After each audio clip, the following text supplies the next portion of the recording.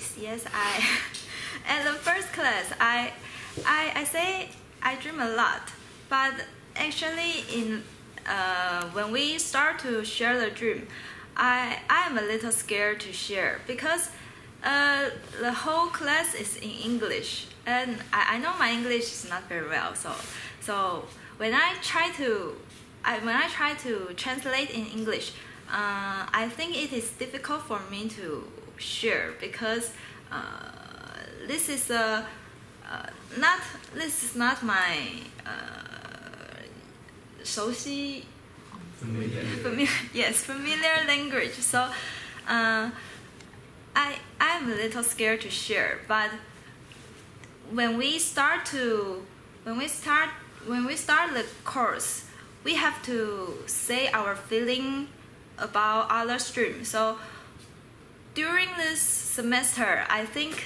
uh, I'm I'm sure uh, I'm I'm uh uh, Confidence.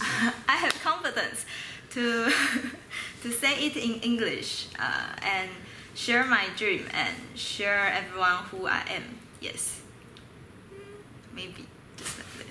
So now, besides the English, is there anything else you got from this course?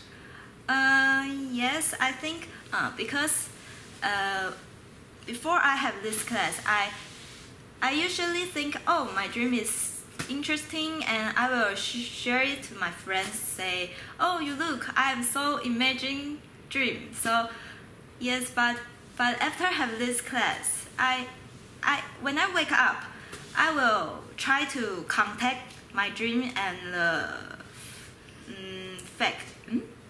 And the You say you want to connect your, you try to connect your dream with the, with the waking reality. yes, so let me know about what the dream is saying about my my situation now. Yes.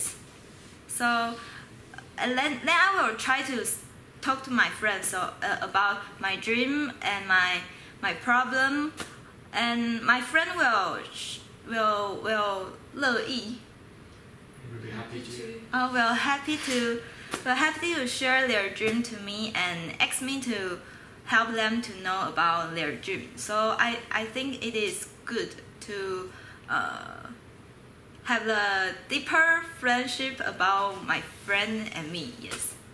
Okay. Okay.